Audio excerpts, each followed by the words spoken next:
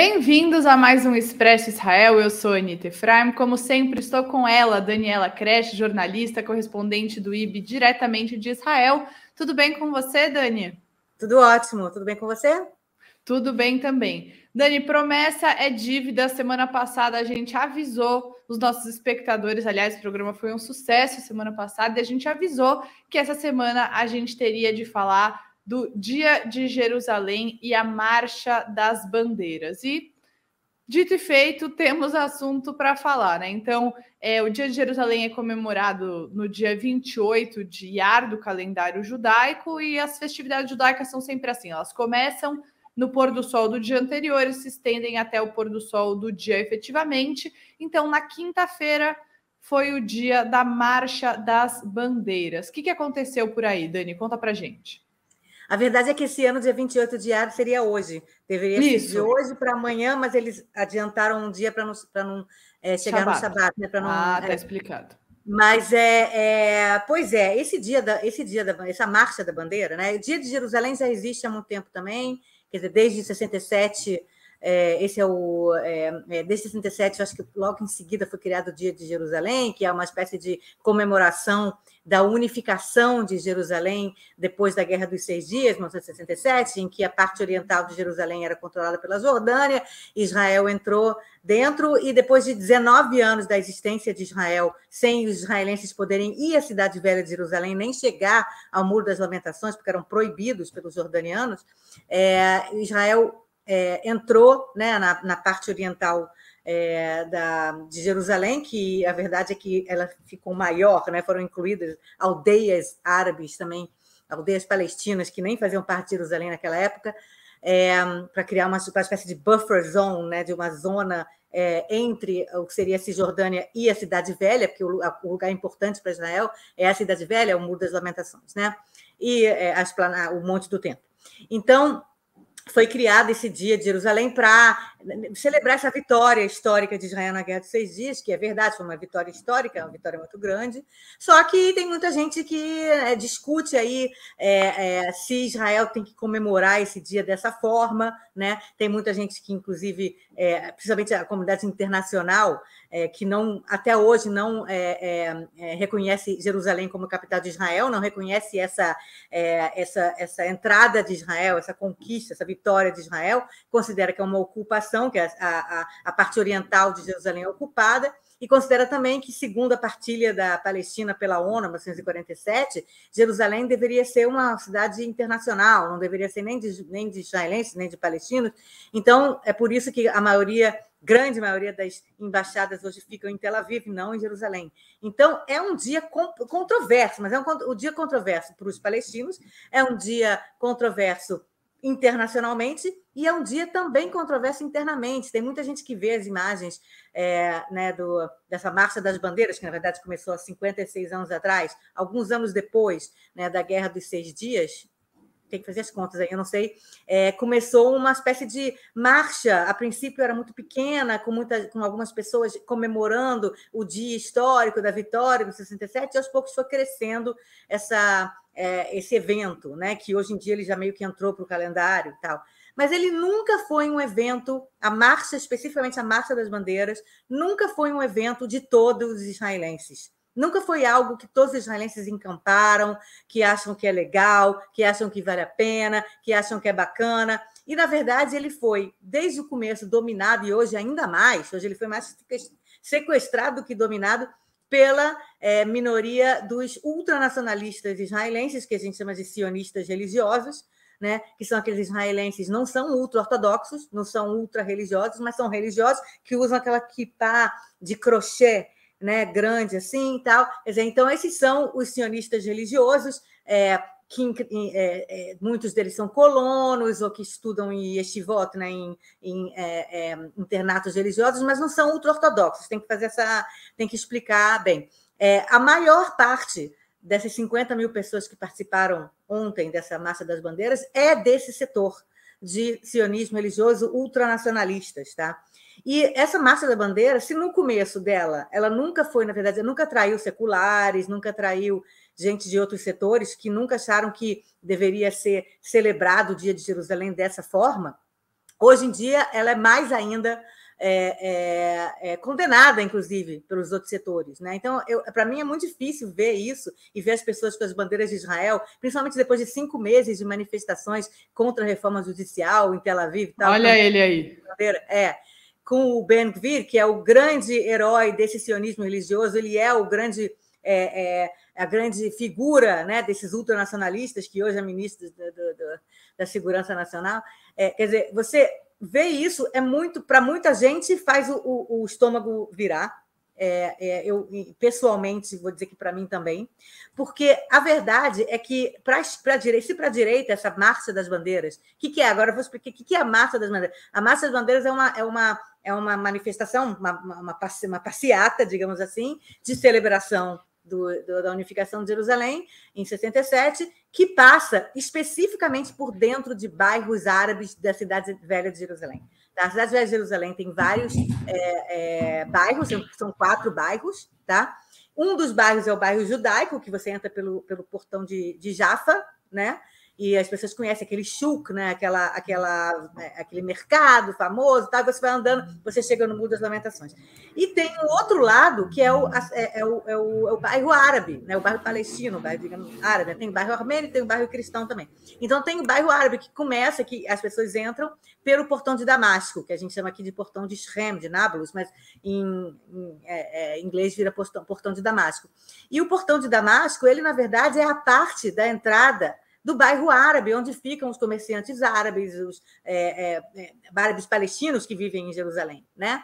Então, é, essa marcha das bandeiras, ela de propósito passa por esse bairro árabe, é, nem tanto pelo armênio ou pelo cristão, de propósito passa por esse bairro árabe para, como se diz em hebraico, colocar um dedo no olho dos palestinos, tipo, provocar mesmo e falar, eu estou aqui, eu que mando, eu que não sei o quê. Tá? Então é mais do que. E Dani, até o, é... o João Miragai ele até fez um fio no nosso Twitter falando sobre isso. Eu acho importante ressaltar que também não é a sua opinião, Daniela Creche, que eles querem mostrar poder, é o que eles mesmos falam durante a marcha.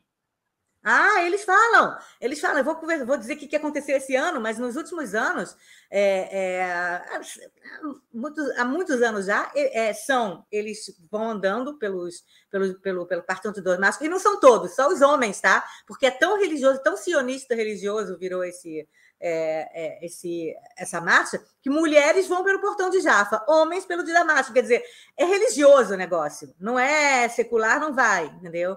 Dizer, então, o, e os homens, né, os fortões, vão lá pelo portão de Damasco, entram lá e muitos cantam que a aldeia de vocês queime, morte aos árabes, e aí começam a. a, é, é, a esse ano teve jornalista é, árabe, né, que, mulheres árabes, jornalistas do mundo todo, não só né, daqui, que foram atacadas com pedras, com, com garrafas. É, é, e eles vão entrando e, e a polícia passa antes e manda os comerciantes fecharem os seus estandes, as suas lojinhas, porque os caras meio que vandalizam, eles vão entrando com, com as bandeiras e vão batendo nas, na, nas lojinhas né, do, do, mercado. Né? Dizer, então, os, os, os, os, os é, comerciantes árabes da cidade velha de Jerusalém precisam fechar seus, seus, seus estantes por meio-dia, quanto dinheiro eles perdem com isso, além do vandalismo do dia seguinte que acontece. E fora isso, tem as brigalhadas lá, e aí briga um com o outro, aí vem os árabes e jogam.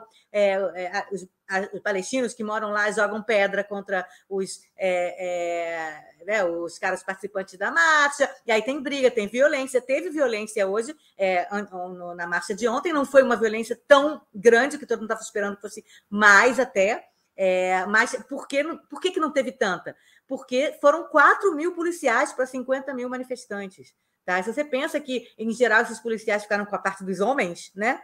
Digamos que foi, sei lá, 30 mil homens, 4 mil policiais, olha quanto, quanto policial para cada pessoa. Tá? Quer dizer, é, então tentaram afastar e não sei, o quê, mas é, essa violência continuou, inclusive hoje de manhã, sexta-feira, teve lá porradaria também, é, briga entre judeus e árabes. Quer dizer, para pessoas que são contra essa marcha de Jerusalém, que eu ouso dizer que é a maioria do povo, tá? Eu não tenho essa, essa, é, essa estatística, pesquisa, tá? essa estatística, mas eu, pelo estando aqui e sentindo o clima, tal, tudo, é, a maioria acha que, primeiro, não tem o menor sentido você passar pelo bairro árabe de Jerusalém só para provocar. Para quê? Jerusalém tem 40% de palestinos que moram em Jerusalém. Jerusalém tem quase um milhão de pessoas hoje, não passou um milhão ainda, 990, 960 mil, sendo que 40% são palestinos. Para que você quer fazer isso? Você não quer que a cidade se pacífica? Você não quer que a cidade, que, que as pessoas não se machuquem, que convivam é, é, convivam pacificamente, para que fazer isso e, e, e, enraivecer, entendeu? As pessoas, os, os, palestinos que moram na cidade e, e, mostrar Israel de uma maneira terrível pelo mundo, entendeu? Que aí as pessoas que ficam confusas, imagino, porque há cinco meses as pessoas veem um montão de israelenses com bandeira de Israel em favor da democracia, é, fazendo é, manifestações em Tel Aviv, e aí vê de repente, um, um, milhões, milhões, milhares, 50 mil pessoas com também a mesma bandeira de Israel, provocando árabes em Jerusalém Oriental. Para quê? Israel já comanda lá há mais de 50 anos a cidade. Israel já unificou, ou unificou entre aspas, porque tem gente que acredita que essa unificação é não existe, entendeu? Mas Israel já comanda. Para que você tem que ficar mostrando, provando que você já que você é o, é, é, o, é, o, é o grandão, é o fortão? entendeu? Dizer, então, muita gente acha que isso é absurdo, não deveria acontecer. É, as pessoas têm medo quando isso acontece, porque acham que vai. Há dois anos atrás começou uma guerra com o Hamas por causa dessa marcha, entendeu?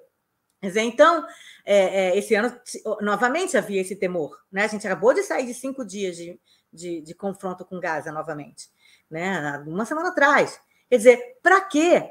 Para quê? Quer dizer, o mindset, a maneira como os, os, os é, esses ultranacionalistas pensam é outra forma, não é a maneira que a gente quer de vamos conviver com paz, vamos tentar resolver. Não, o objetivo deles é provocar, provocar, quem sabe, uma nova guerra, provocar, quem sabe, alguma coisa, para demonstrar que, que Israel. É supremacia. É para demonstrar supremacia. Judaica. E também, o, o, que eles dizem também, tem alguns que dizem assim: não, não é isso, não. A gente, é que a gente não pode demonstrar fraqueza porque no Oriente Médio, se você demonstra fraqueza, você se ferra. Você também não pode fazer. Se o Hamas e a Jihad Islâmica falaram não faz a marcha das bandeiras, a gente então vai fazer, para não fazer o que eles mandam. É todo um tipo, uma espécie de mindset de que tudo aqui é força. Tudo é através da força, tudo é através da provocação, tudo é através de, olha só, eu sou mais forte que você, tá? Que é uma coisa que é exatamente o que rege é, é, né? É uma espécie de realpolitik violenta, entendeu? Que para eles você não pode demonstrar é, fraqueza, você tem que demonstrar força. E você tem que demonstrar força como? Passando na frente dos caras dizendo, estou aqui, ó, ó, ó, entendeu? Dizer, então, essa é a ideia da Marcha das Bandeiras. É só isso, e, e, e, me dói ver isso, porque no mundo ficam achando que tá todo mundo, que aqui em Israel as pessoas gostam disso, sabe? Então a gente vê assim, BBC, matéria da BBC, da CNN, 50 mil israelenses entraram, não sei o que, eu fico. É que nem, é que nem o brasileiro que era contra o Bolsonaro, que é contra o Bolsonaro, vê na, na imprensa estrangeira manifestações pró-Bolsonaro, é, reverenciando o pneu, dizendo brasileiros fizeram isso. Você fala, não, eu não fui, entendeu? Sim. Então é, uma, é, um, é um sentimento. Um estereótipo, desse... né? É um sentimento ruim de estar tá sendo. É porque realmente são 50 mil israelenses. Sim. No caso dos bolsonaristas, são milhares de, bolson... de brasileiros entendeu? Eu acho que é, o problema é que não fica muito claro que tipo de que tipo de, de, de israelense é ou que tipo de brasileiro é, entendeu? Como uhum. há um estereótipo de que todos os israelenses são esses, os da bandeira, não são os de Tel Aviv. Né? É Sim, vontade... no Brasil, inclusive, isso é fortíssimo.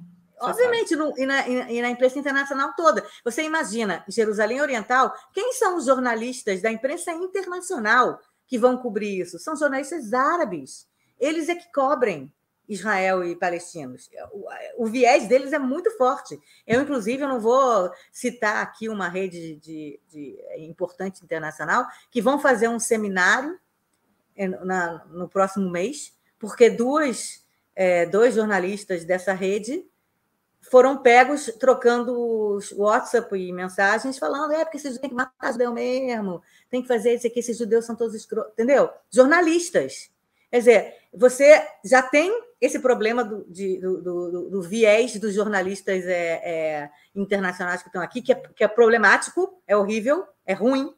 Já tem o estereótipo mundial de que Israel fica só querendo cantar a vitória os palestinos e, e, e, faz coisas ruins para os palestinos. E aí vem um Ben Gvir desse, entendeu? Um Itamar para botar mais lenha na fogueira. Para botar mais lenha na fogueira. Mas o que eles querem é botar lenha na fogueira. O objetivo deles é causar caos. É botar lenha na fogueira, o é governo, dizer eu sou mais disse. forte que você, entendeu? E, o governo e... e quem vai para as marchas, no caso. Né? É, isso é muito, uhum. muito triste, porque é, aí ficam tentando aqui já falar assim, não, mas a maioria dos, dos, dos que marcham são, não são assim, eles só querem celebrar Jerusalém. Sinceramente, isso é ladainha para boi dormir, porque todo, todo mundo que está lá nessa marcha sabe exatamente o que, que vai acontecer uhum. e sabe exatamente como é que isso é visto, tá? Então, quem vai para lá é que porque concorda, com essa, essa visão de que estamos aqui para provocar e para mostrar a nossa soberania e a nossa supremacia. As pessoas que estão lá sabem disso, tá? E alguém pode dizer para mim, não, não é verdade, não foi assim. Ok, é sua opinião. A minha opinião eu acabei de dar. E Dani, a gente vai para um outro assunto que também é bem preocupante. São dois assuntos dentro de um, né? Que no caso a gente vai falar de mortes de mulheres. O primeiro é sobre a morte de um israelense que aconteceu há algumas semanas. Os fatos foram se sobrepondo e a gente acabou não conseguindo abordar, mas a gente não queria deixar passar.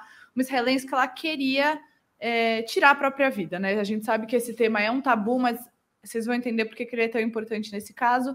Para isso, ela foi até um checkpoint e falou aquela frase famosa, conhecida dentro do Islã, que geralmente é dita antes é, de pessoas que vão agir como supostamente mártires, né? Se matarem homens-bomba, etc., que é Allah Akbar. E quando ela disse isso, ela foi morta pelo exército israelense.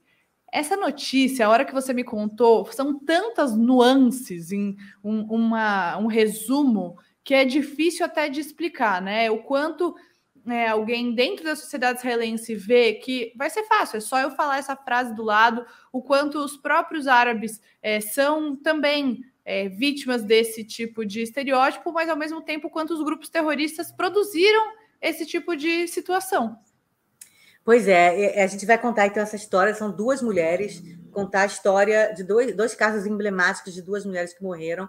A primeira é essa judia, que ninguém entendeu muito bem quando chegou uma mulher vestida né, com aquela, aquele hijab, não, é aquela, aquela roupa é, é, tradicional, mais mulheres mais religiosas é, é, é, árabes, né, árabes muçulmanas, e ela gritou Allahu Akbar, né, que é Deus é grande, né, e, e, foi correndo em direção a um posto de controle no sul da Cisjordânia com uma faca. E aí os soldados sei lá, tem todo um, uma, uma procedura, procedimento, né? Você vai e primeiro você fala para, depois você atira nas pernas, depois essa pessoa não para, mata. Né? Então mataram ela.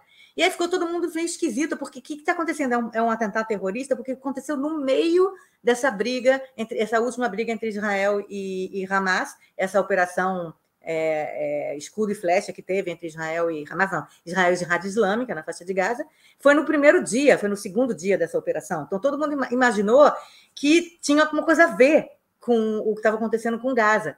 E aí todo mundo ficou meio que ter atentado terrorista, não sei o que, não sei o que. E aí quando foram ver, era uma menina, menina, uma moça de 26 anos, é, israelense judia, chamada Sapir Livnat Green, de 26 anos, como eu falei que tem um histórico de problemas mentais, quer dizer, ela tinha um histórico de problemas é, complicados, de, ela já era conhecida das autoridades de bem-estar social aqui, ela inclusive teve matérias feitas sobre ela na imprensa israelense, porque teve uma época que o ex-primeiro-ministro é, Naftali Bennett é, é, tentou ajudá-la e a família dela, e ela já tinha, depois teve outras matérias que eu vi terríveis com ela, que ela tentando, é, chegando no hospital depois de tentar se suicidar. Desculpa, esse, esse assunto é realmente muito, muito pesado. Mas, e aí, é, recentemente, ela falou, parece que ela mandou um WhatsApp para uma amiga. Ah, não, colocou na, acho que no Facebook, uma coisa assim, escreveu: para se matar, o melhor mesmo é se vestir de árabe e correr, é, gritar Allahu Akbar e, e, e, correr em direção a um. Olha a um, isso, um, gente. Controle. Ela escreveu. E aí uma pessoa escreveu: Ah, que engraçadinha, não faz isso não, não sei o quê. E tentaram, inclusive, mandar essa mensagem, essa troca de, quer dizer, esses posts dela no, em rede social para as autoridades. E parece que chegou na polícia, mas não teve tempo da polícia passar para é, para o exército, né? Para quem estava lá no exército, então teve esse problema de comunicação porque foi muito rápido, tá, não sei o quê. E, e, e, e, é terrível que ela tenha encontrado uma maneira tão efetiva de se matar. Exato. Tá? Porque isso demonstra como a tensão na fronteira entre Israel e Cisjordânia é forte e como e você existe casos, porque ela não é a primeira que é morta perto de um posto de controle, né? E não é a primeira vez que tem é, palestinos que tentam cometer algum atentado terrorista no posto de controle, que faz com que os soldados que estejam nesses postos de controle sejam absolutamente paranoicos, às vezes, quer dizer, paranoicos é, com, com, motivos, digamos assim, e acabem matando pessoas, é, inclusive, é, nesse caso, uma pessoa que tinha um problema, entendeu? Mental, um problema de depressão tal e tudo, né? De questões muito mais profundas, né? É, a gente viu recentemente, acho que há um ano e pouco atrás, teve até um brasileiro que estava lá como guarda de fronteira que foi atacado por um é, é, você escreveu sobre isso na época. Isso, e o cara conseguiu matar uma, uma, uma, soldada de 20 anos de idade, o cara naquele dia, e conseguiu até hoje, esse brasileiro que foi atacado, eu não sei, nem sei como é que está a, é, a situação dele, porque foi a bala, e, e, a bala foi na cabeça, eu acho que ele ainda está meio se recuperando, entendeu? Não, não sei direito. Quer dizer, então você tem realmente uma situação de fronteira que é tão complicada que até uma pessoa que deseja se matar faz uso dessa, dessa que loucura! Que é loucura! Muito, muito Eu acho que realmente é um resumo horroroso, triste, é. É, do que é realmente viver essa tensão todos essa tensão. os dias. E aí você. Exato. Até pessoas que fazem uso dessa tensão para outros, outros objetivos, né? Terríveis. E a segunda história, é, também pedimos desculpas aqui aos nossos é, é, telespectadores, né? Pelos gatilhos é, que é a segunda morte de uma menina de 19 anos, árabe israelense, uma árabe de Israel de 19 anos, chamada Dima Bushnak, que morava numa, numa aldeia no, na Galiléia, no norte de Israel, e ela foi assassinada. Tem até câmeras de segurança mostrando a hora que ela estava num carro. Teve chegou um cara e matou ela com a tiros. Ele até foi embora e depois voltou e atirou mais para ela para ter certeza que ela tinha morrido. E aí ficou todo mundo, que, que a menina fez? Porque a gente está no meio de, um, de, um, de uma onda de assassinatos à mão armada, né, é, com, com, armas de fogo, em Israel, que já são mais de 100 assassinatos esse ano, é, com armas de fogo ou armas brancas, em Israel, que é três vezes mais do que esse mesmo período do ano passado e a maioria, 80%, dentro do setor árabe israelense. A gente já falou disso, a Arevitalo já escreveu para a gente sobre isso, né? a gente já comentou sobre isso. E no caso de feminicídio, que é o né, que entra nesse caso, é o 16 desse ano, também é um muito, muito alto número.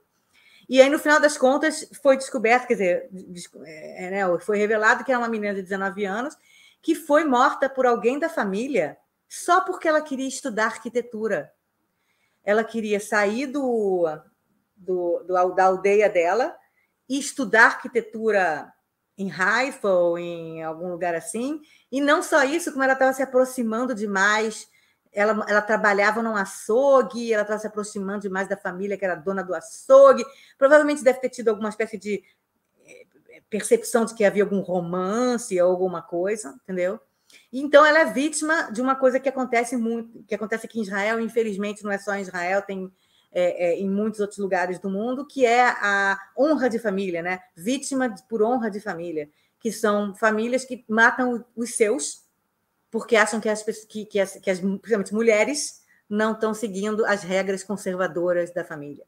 Quer dizer, é, querem ou estudar, ou querem, se, ou querem casar, ou ter algum romance com alguém, ou eles acham que a mulher está traindo, ou o marido às vezes trai, e aí, para se livrar da mulher, mata. Quer dizer, então você tem aí muitas questões relacionadas à honra de família que é, é, fizeram com que essa menina de 19 anos fosse assassinada. Outra tragédia e outra coisa emblemática que mostra é, essa, é, é o que está acontecendo aqui, principalmente dentro do setor árabe. E, novamente, a gente fala desse Itamar Ben-Gvir o tempo todo aqui, que é esse ministro ultranacionalista, supremacista, é, é, ministro de Segurança Nacional.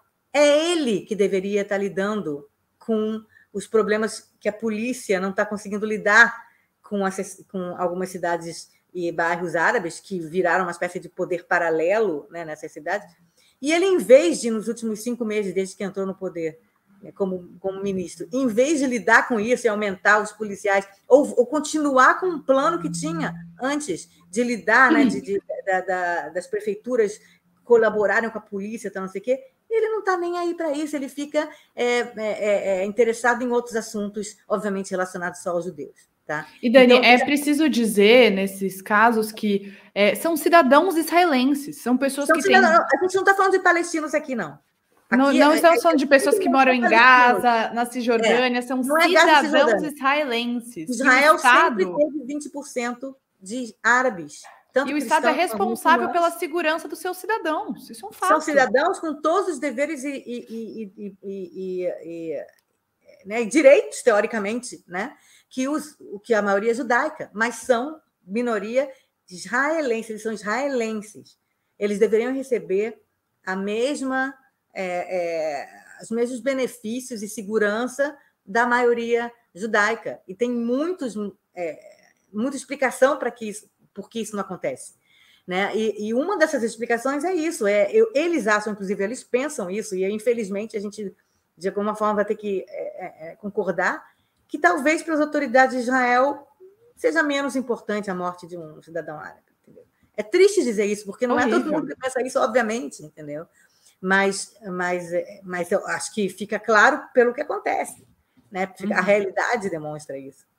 É. É claro que você não pode tirar, não pode tirar o, é, também a, a, responsabilidade de lideranças árabes e israelenses. Né? Essa, toda essa questão da, da morte por é, por honra, honra, de família, é uma questão talvez cultural, entendeu? Você tem questões culturais aí, não estou dizendo que não tem, não. Não estou dizendo que não tem. Mas o que a polícia do país deveria fazer é lidar com esse assunto de uma maneira melhor e evitar que triplique o número de mortes dentro do setor, claro. como aconteceu esse ano. Sim, e bom, a gente vai para o nosso último assunto, que é um pouquinho mais alto astral, né, Dani? Bem no, mais alto astral. No Akira levou Israel ao terceiro lugar no Eurovision. Aí eu coloquei baixinho aqui, de novo, é o comecinho aqui do show dela. Eu tava lendo os comentários, Dani, as pessoas amam ela, as pessoas ficaram super impressionadas com a performance dela. E ficou em terceiro lugar. Você ficou feliz, Dani? Ficou orgulhosa da Noah? Eu fiquei muito feliz. Eu acho que ela é uma menina muito talentosa e ela trabalha muito. Ela não é assim, uma, ah, vou fazer qualquer coisa. Entendeu? Ela é uma Britney Spears, digamos assim, israelense mas que, que deu certo por enquanto. Ela, ela é novinha, ela tem 22 anos só. É. Tá? Então, ela é uma super super estrela pop, né? Não é todo mundo que gosta das músicas dela, é uma coisa de, de pop, né? Tipo, é, esse, é, esse, tipo de, de, de, de, estrelinha pop, mas ela é muito sabe? Ela é muito bem vista e ela trabalha muito. Olha a letra é muito... dela, quando acabou a apresentação, a emoção, achei tão bonito isso. É, Coloquei pra é, gente é, ver ela sorrindo, ela ficou natural, muito feliz é, com... É. antes aí, de saber o resultado, claro. Pois é, e aí o que acontece é o seguinte: é claro que o pessoal é, da comitiva dela, principalmente o cara que escreveu a música, que é o cara chamado Doron Madali, que escreveu a mesma música da Neta, há cinco anos atrás, da ah, Neta Barbieri, então, é o mesmo cara. Que, aliás, já escreveu várias músicas para a Eurovisão, ela é uma espécie de... É, Especialista é, em Eurovisão. Gênio de, Eurovi de Eurovision, né? E uhum. de músicas famosas. Ele, ele escreve para um montão de artista aqui, ele sabe como fazer aquela música que vai pegar, né, tal. Então, esse cara, ele falou, não, a gente vai primeiro lugar, a gente vai ganhar primeiro lugar. Mas desde há muito tempo já se sabia que em primeiro lugar ficaria ou a, a Suécia, que ganhou, ou a Finlândia, que estava sendo popular demais. A Suécia com uma música, uma, uma música pop bem estilo é, Eurovision, Eurovision também e tal, e, é, e, e, e, vai ser muito bom ano que vem, é 50 anos desde, desde que a ABBA é, ganhou com Waterloo, que foi também um dos maiores, é, é, né, ficou na história do Eurovision, né? Então, vai ser na Suécia, que é um dos países que mais ganha uhum. Eurovision uhum. desde que o, o esse, é, é, concurso foi essa, criado. Né, essa coisa de música europeia existe. É, e o outro lado, a Finlândia, que é vizinha da Suécia, uma briga de vizinhos nórdicos aqui. E a, a Finlândia tinha uma, uma música absolutamente maluca. Não sei se você tem ela aí, é, as imagens da, da, da Finlândia, que é é, um cara chamado Caria, que fez uma música meio que se a Suécia leva, leva a sério o Eurovision, com músicas todas trabalhadas, não sei o quê, a Finlândia não leva nem um pouco a sério. Nem a Finlândia nem a Dinamarca eles não levam a sério o Eurovision. E eles sempre mandam uns números, assim, uns shows esquisitoides, que ironizam, que riem. É como se estivessem rindo do próprio Eurovision, entendeu? Só que esse ano era tão bom, era tão, tão esquisito que era ótimo. Então, eles ganharam no voto popular. A Finlândia ganhou no voto popular. Vamos ver aqui um trecho. Chama Tchá Tchá Tchá. Não posso nem deixar muito, mas vamos é. ver.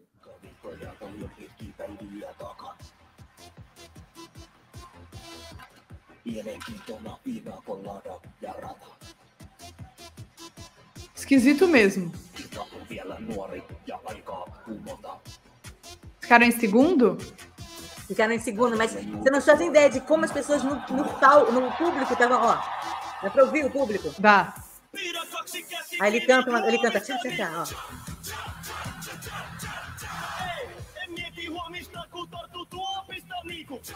Bem curioso, né?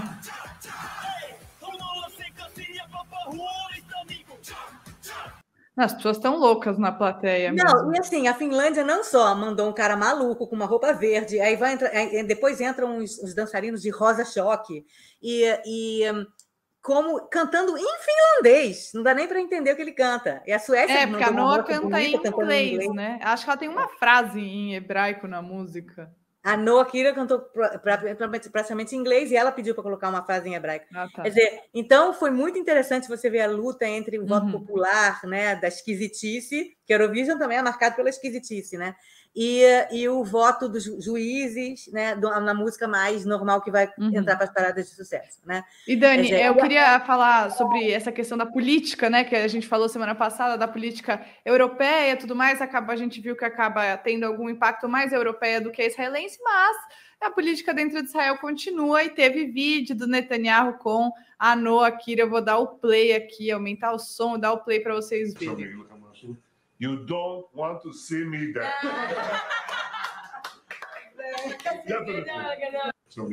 É isso, mas falando porque ela é porque fala, na né? música, na música, no final, a Noah Kira fala You wanna see me dance? You wanna see me dance? É o finalzinho da música dela. Então ele tá brincando. You don't wanna see me dance. Mas, obviamente, de qualquer maneira, qualquer primeiro-ministro faria esse lógico, gesto, entendeu? Lógico. Porque ela realmente foi muito. Todo mundo adorou que ela ganhou terceiro lugar. Foi muito bom. São, 30, são 42 países, sei lá quantos são ganhar terceiro lugar é muito bom, entendeu? Claro. Então, é, é mas certamente. Agora, é, voltando à questão da política, todo mundo falou: não, Israel não vai conseguir, não sei o quê, porque política. A gente estava no meio, novamente, daquele mesmo é, escaramuça com, com, com Gaza na semana passada, há 10 dias atrás, entendeu? Então, ninguém vai votar, ninguém vai votar. E a gente entende, então, ver que como o Eurovision, que é esse é, é concurso de música que tem há quase 70 anos é, na Europa é uma bolha. Né? As pessoas que veem aquilo são da, tão da bolha e só interessa mesmo política europeia. A Rússia foi expulsa esse ano por causa da guerra com a Ucrânia. A Ucrânia, eu acho que ficou em quarto lugar, inclusive, com uma música que não era nem maravilhosa, mas porque as pessoas estão do lado da Ucrânia, então não sei o quê. Você tem essa briga entre Dinamarca e Suécia, você tem briga entre não sei o quê. Quer dizer, qualquer coisa que é meio que fora da Europa, meio que não, não importa muito. E Israel já ganhou quatro vezes, quer dizer, você não pode dizer que Israel é ah, isolado e ninguém está nem aí, né? Sim. Eu vejo muitos vídeos de pessoas que amam é, Eurovision e sempre falam de ah, Israel, a gente adora as músicas dele, entendeu? Dizer, então, tem política, mas não tropo. Tudo, tudo tem limite, né? É mais o que interessa a eles. Bom, Dani, com uma notícia mais alto astral, né? Falando de Eurovision, que também é bom para a gente dar uma espairecida, a gente chega ao fim de mais um Expresso Israel. Muito obrigada e até semana que vem. Até semana que vem. Tchau, tchau, tchau, tchau, tchau. Como já diria o cara da Finlândia. tchau. tchau. tchau.